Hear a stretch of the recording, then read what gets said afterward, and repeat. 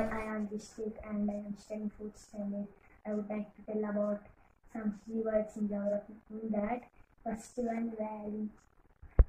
Valley is a low area of land between hills or mountains with a river flowing through it. Second one, glacier. Glacier is a slowly moving river of ice formed by the accumulation